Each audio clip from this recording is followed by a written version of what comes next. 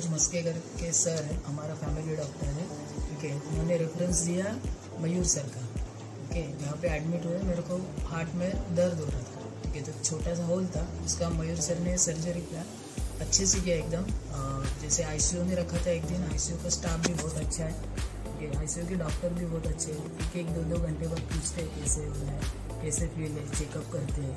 और जैसे normal ward में एक दिन रखा था, वहाँ पे भी अच्छा ट्रीटमेंट मिला मेरे को। और यहाँ तो बहुत बेस्ट है।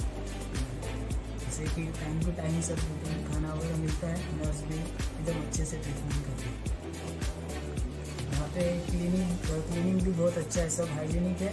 स्टाफ प्रॉपर चेक करता है। जैसे कि डे में मॉर्निंग में इवनिंग में सब क्लीन रहता है।